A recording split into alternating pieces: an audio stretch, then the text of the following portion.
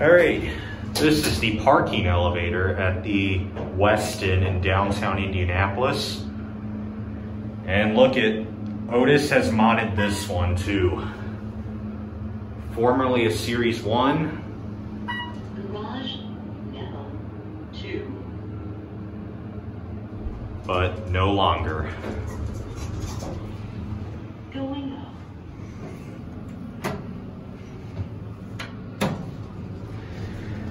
Otis has completely modernized this thing.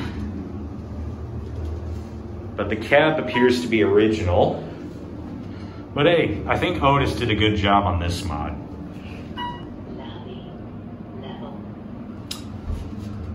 Well, that's gonna be it.